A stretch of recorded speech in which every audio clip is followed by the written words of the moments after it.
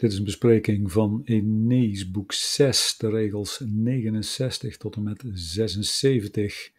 In het voorafgaande hebben we gezien hoe Eneas op verzoek van de Sibylla een gebed heeft uitgesproken tot Apollo, tot de andere goden, met name Juno natuurlijk, en de Sibylla zelf, dat hij nu eindelijk eens in Italië mag aankomen en een stad mag stichten uh, behalve om deze prekes gebeden, heeft de Sibylla hem ook gevraagd om vota.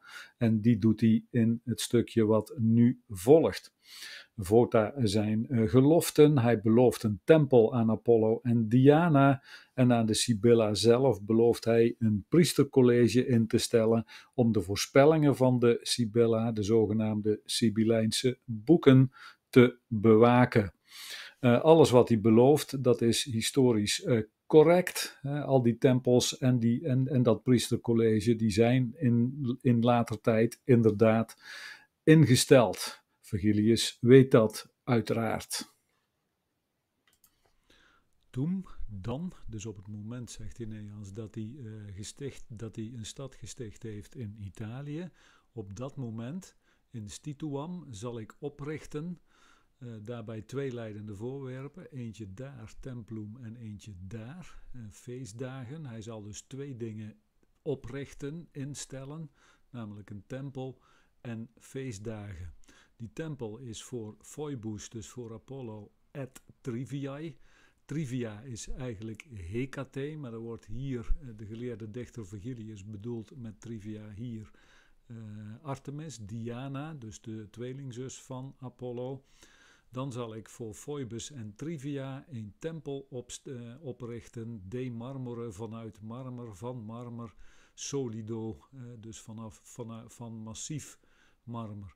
En ik zal dus oprichten Festos dies de nomine uit naam Phoebe van Phoebus.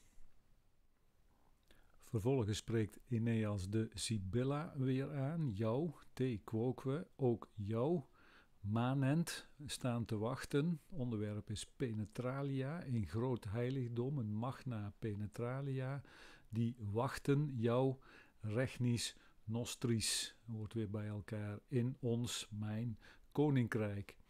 Namque, wij, zouden dat, wij moeten dat vooraan vertalen, want, want hier, dus in mijn koninkrijk, ik en het bijbehorende werkwoord staat daar, ponam, want hier zal ik plaatsen, tuba's sortes, jouw orakelspreuken en de geheime lotsbeschikkingen. En daar worden dus die Sibyllijnse boeken mee bedoeld. Die zal ik dus plaatsen in, in die tempel, is de bedoeling. Dicta, gezegd zijnde aan mijn volk, staat er letterlijk. Eh, gezegd zijnde door jou, bedoeld Eneas, dus door die Sibelle. Vandaar dat ik vertaald heb, die jij gezegd hebt, hebt jij aan mijn volk. Die zal ik dus plaatsen, lectosque. En ik zal wijden, ik zal heiligen, leidend voorwerp is viro's. Opnieuw spreekt hij de Sibelle aan, uh, zegenende, alvoedende, zoiets betekent het. In ieder geval met Alma wordt uh, de Sibella aangesproken. Ik zal wijden, ik zal viro's mannen wijden en ik zal uitgekozen mannen wijden.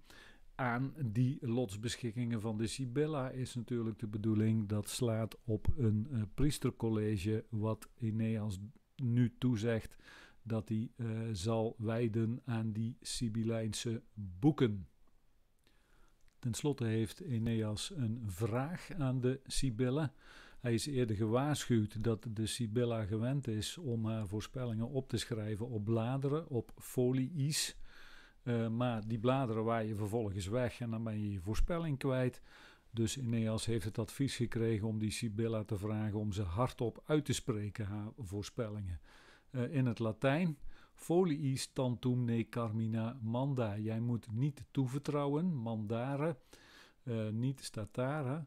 Uh, jij moet je spreuken, je carmina, daar worden dus die voorspellingen mee bedoeld. Slechts tantum, alleen maar. Niet toevertrouwen aan, in de dativus, foliis. Nee, volent, volent van volare, of vliegen, opdat zij niet vliegen in verwarring gebracht zijnde, PPP, congrueert met die carmina uiteraard, opdat zij niet in, in de war gebracht vliegen als ludibria, als speelballen voor de snelle winden. Ik vraag je, Oro, ik bid jou dat jij zingt, kana's in de conjunctivus van kaneren zelf. Dat jij zelf uh, hardop zingt, zodat ik het kan horen. Finem uh, deed dit oor, dan is Eneas uitgesproken. Hij, geeft een, hij gaf een einde, staat er letterlijk. Dus hij stopte, hij, hij maakte een einde van het spreken, een gerundium. Hij maakte een einde van het spreken. Hij stopte met praten, oren met zijn mond.